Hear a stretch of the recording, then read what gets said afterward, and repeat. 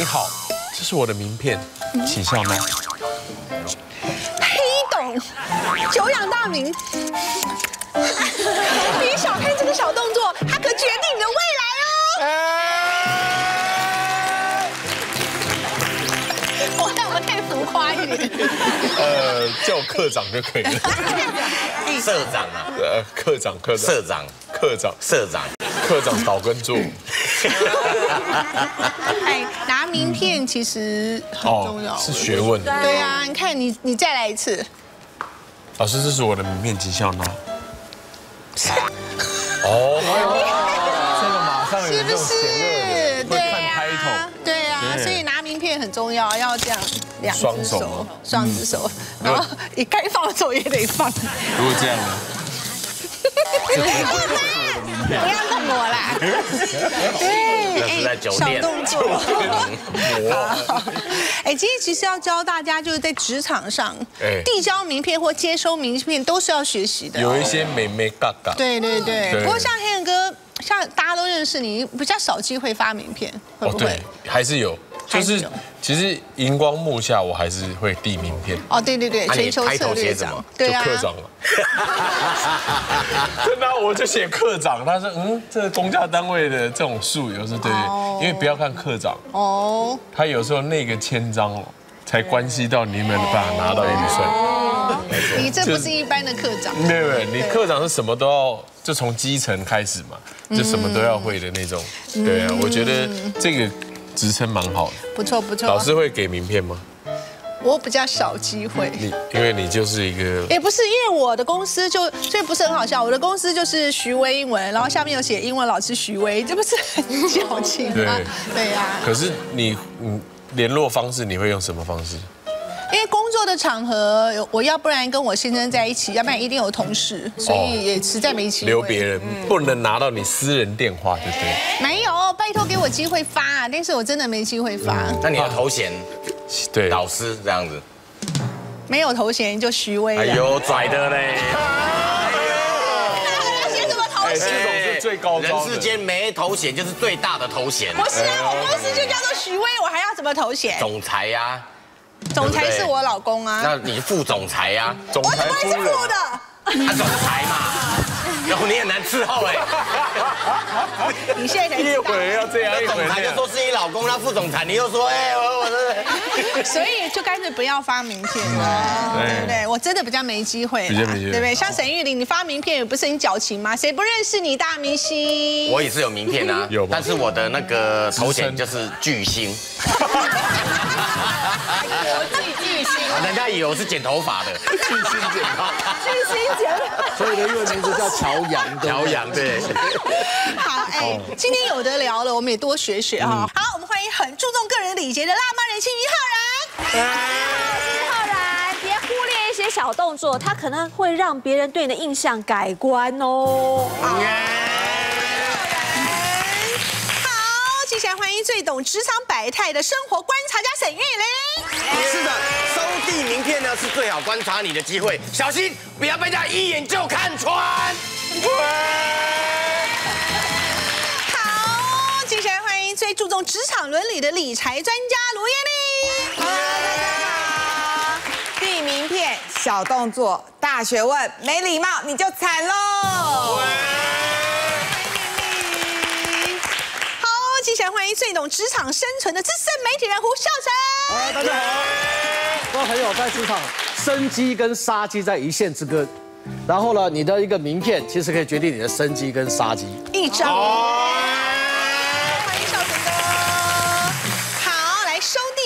的时候千万不要这么做。第一个 mega 是要学什么？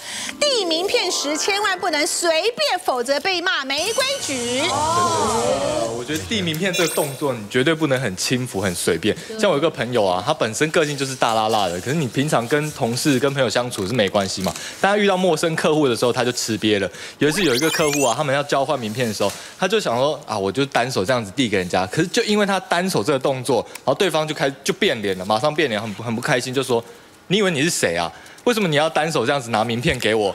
你难道不知道双手递名片是一个基本的礼貌吗？你公司都没有教吗？然后就开始洗他脸，整整洗了一个多小时，然后他就记起这个教训，他以后真的再也不敢这样单手递名片，都是双手乖乖的这样递。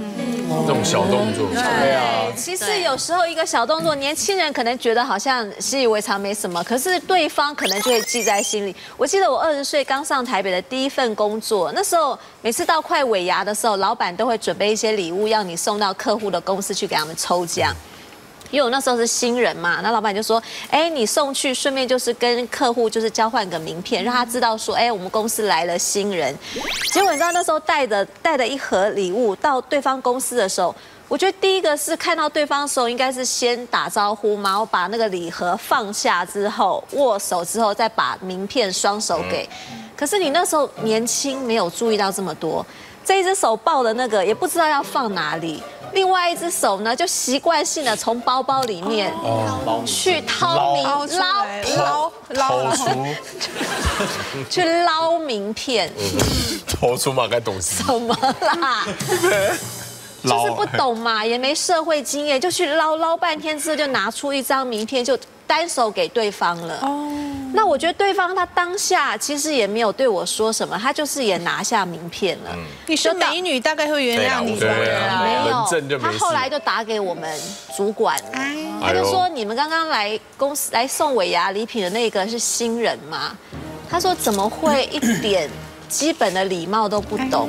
他说左手抱的礼盒，右手我就看他在包包掏啊掏啊，的不知道在掏什么。掏出嘛该东西。所以那时候你才发现啊，就是有时候第一眼印象，虽然别人没有当场的去点破你，可是他就记在心里了，他就打来我公司跟我老板讲。哦，对，燕玲姐，这个你会 care。哦，我其实很 care，我觉得这是基本的礼节哦。那我记得有一年我带实习生去拜访一家上市公司的董事长，因为总是要让实习生在暑假期间有一些收获。那我们递完名片之后，因为实习生也有名片，我先递，我递完之后换实习生递，递完之后呢，哎，对方是个上市公司的大老板嘛，他并没有。递名片给我们，因为他是长辈，他有权决定他要不要给我们名片。然后这个时候呢，这实习生就很妙了，他就很白目的讲了一句，他说：“董事长，你名片发完了，你没有发名片给我耶。”那对他讲了一句非常不礼貌的话，那我我当场就觉得很尴尬，我就跟这个。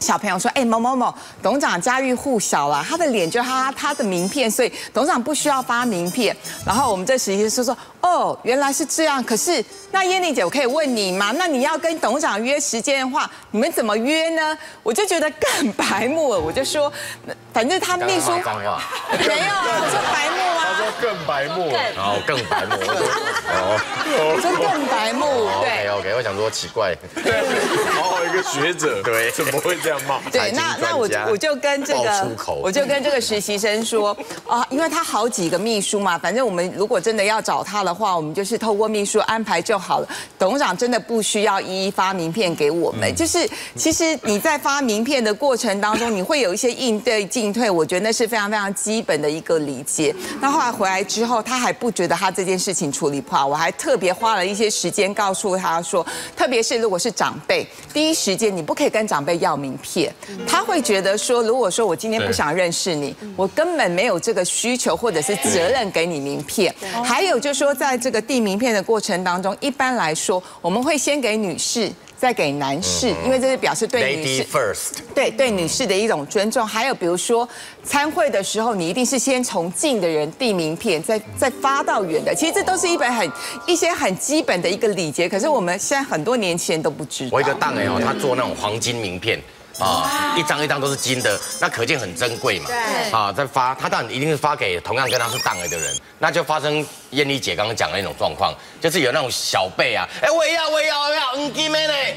他一个人说要，另隔壁桌的我也要，我也要，就一堆人哦，蜂拥而上，然后 那个不要不要不要举得很高哦，成本很高，抢来有人露出他的脖子来，然后呢，他那一盒呢全部都不见了，抢劫。对，他是金金金箔做的，金箔，金箔对。啊，通常一般来讲，你你通常呃我们在商务上面订名片的时候，它其实是一种很多种的训练哦。这训练它代表你的公司。那其中有几个要特别注意，一个就是我现在示范一下哈。通常这样子，假如说今天是董事长卢我们卢董事长在这边，谢谢。他他现在站在这边的时候，你知道我曾经有碰过一种一种年轻人是怎么样子递名片的？他在递完之后，哎哎，董事长你好你好你好，我是，然后就这样，变成是这样，他我都不动。正正常来讲，应该是我要往前进一步。你知道有一种碰到那种情况是完全不动的那种，那你该怎么办？有时候他，那我就往前，他会往前。其实这个是很失礼的。对。然后偏偏他往前的时候，哎，他又后退了。哎呦，哎，开始掐掐掐掐掐，哎呦，掐掐，哎哎哎，啊，爱情的恰恰。荒谬，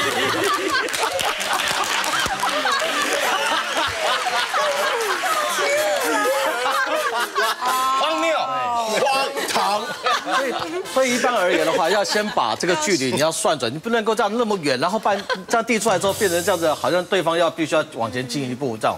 这是一个失礼的一个行为。这个是什么？就是通常一般来讲，就有些会比较高一点，高一点的时候，它本来就有压迫感。这个时候你稍微稍微量好距离的时候再递出去，因为手会比较长。这个时候的话，你要头要特别的低低下。为什么？因为我们比较高。那如果说对方职务很高的话，通常我们要特别低下。像我举个例子哦，如果这样子，哎，那个那个董事长你好，像我我会因为我比我比艳丽稍微高一点，所以我要特特别低一点。这样子的话，他才会感觉到有这样子的一个这样尊重的感觉。对。还有另外一种，我常看到一个年轻人最常发生的情况是这样。各位有发觉，我把名片递出来的时候，其实我根本没有在看名片。嗯嗯。因为我都有一个一有一个顺势，就是说我这个名片已经摆在这边，其实这有一个顺势，我不会像这样子，还要这样子哦。一看，哎呦错了，然后再递过来这个样子。所以要养成一个习惯，有个顺势这种情况，顺手拿。因为有的顺手拿出来，跟别人会会混在一起。对。那一人拿出来给人家，呃，你看啊，金悦酒店。只是给对方看，给对方看，对，自己看是倒的，对，自己看是倒的，就像送剪刀的时候一样的概念，是一样的道理。所以就说你要，你可以把它摆在一个固定的，你平常养这个习惯，一个顺手就这样子递出来的时候，这样子我整个是正面，就是顺向，就顺向到对面这边，这样子，这样才是有礼貌。不要到时候这样一出来之后一看，哇，有些有些拿反也就算了，还拿这样子。这样拿给人家的时候，我都一看，哎，不对，赶快再这样子很慌乱这样做这个动作，这个是不对的，不好的。还有另外一种，就是我看到现在年轻人最常犯的一个最大的忌讳是什么？就是你把你的名片放在你的皮夹里面。对，这是一个很糟糕的行为。这样，我常常会看到一个什么情况，就是把那个皮夹摆在这里面。然后呢，摆进去的时候呢，然后要递名片的时候，然后再把皮夹。你现在是要告诉人家你很有钱吗？还有人也有人直接拿钱出来，卡一千块，这这就是我的名片。土豪对，因为这种行为其实你会让对方有感觉出来，就是说好像你在炫耀什么。嗯。而且你的你通常一般来讲，这种人的话，他的包包都很鼓，很乱。所以你在拿起来的时候，你就发觉到他就开他就开始这样，刚好被人家就找半天这个样子。对，其实这个都是一种不礼貌的行为，在对方来看的话，其实都不太礼貌。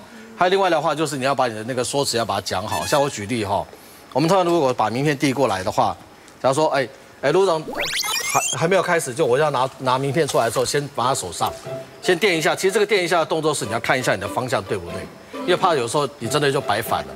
这时候你赶快摆一下，摆过来，然后就讲说：“哎，董事长你好，我是那个 TVBS 上班这档事的执行制作胡孝成啊，请多指教，这是我的名片。”哎，你好，你好，你好，哦，孝成哦，上班这档事哦，收视率超好的耶，谢谢，谢谢，谢谢。我特别喜欢徐威老师，但黑人哥也不错啦，是是，但是他两个儿子比他还帅哦。你有没有踩到也完啊？你讲完没有啊？